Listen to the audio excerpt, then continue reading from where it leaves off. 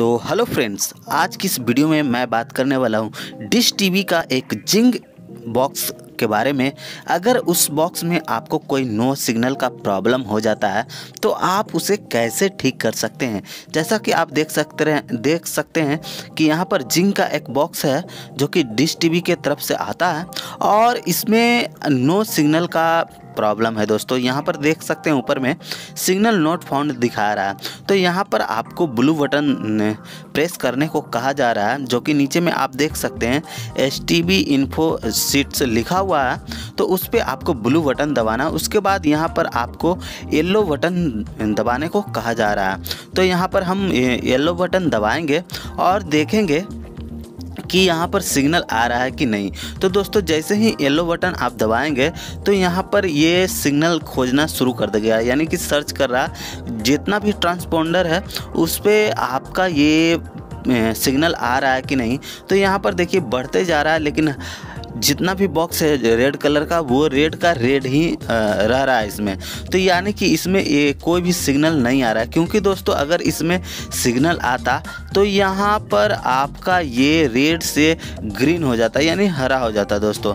तो यहाँ पर सबसे पहले तो आपको ये जानना होगा कि इसमें जो केबल है, वो कहीं कटा हो कटा हुआ तो नहीं ना है। क्योंकि अगर आपका केबल कटा हुआ रहेगा तब भी नो सिग्नल आएगा या फिर आपका डिस एंटीना हिला हुआ रहेगा। तब भी नो सिग्नल आएगा या फिर आपका केबल डिस्कनेक्ट हो जाएगा आपके सेटअप बॉक्स से। तब भी नो सिग्नल इस प्रकार से आएगा और इसमें ये सिग्नल जब सर्च करेगा तो इसमें सिग्नल आएगा नहीं दोस्त। जैसा कि आप देख सकते हैं देख सकते हैं कि यहाँ पर सिग्नल नहीं आ रहा है दोस्तों। तो इसे सिग्नल लाने के लिए, वैसे तो दोस्तों इसमें से मैं केबल निकाल दिया हूँ, यानी कि जो डिस एंटीना से बाहर आता है, उससे मैं निकाल दिया हूँ क्योंकि वीडियो बनाने के लिए ये ज़रूरी था दोस्तों। तो यहाँ पर जब आप इस प्रकार का प्रोसेस करते हैं तो आपको पता चल जाता है कि यहाँ पर सिग्नल आ रहा है कि नहीं।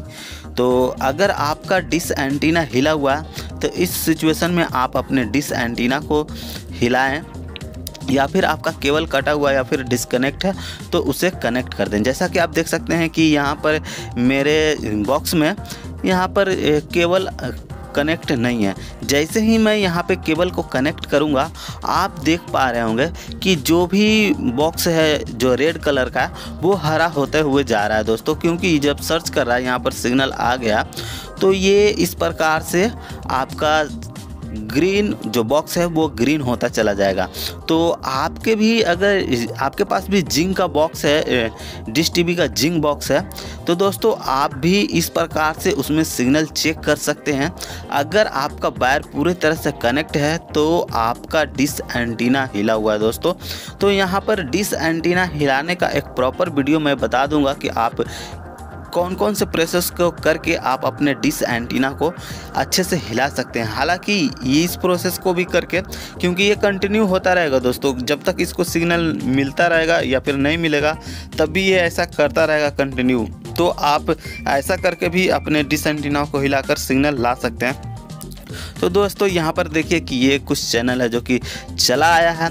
इसमें आप दो साल तक फ्री देख सकते हैं दोस्तों। आपको ये पंद्रह सौ रुपये का ये बॉक्स मिल जाता है और इसे आप दो साल तक फ्री देख सकते हैं। तो दोस्तों, ये वीडियो कैसा लगा आप हमें कमेंट करके बताएँ। अगर इस वीडियो में आपको कुछ प्रॉब्लम समझ में आई या फिर जिंग सुपर थर्टी बॉक्स में अगर और भी कोई प्रॉब्लम आपको समझ में आता है तो आप हमें उस प्रॉब्लम को कमेंट करके बताएँ।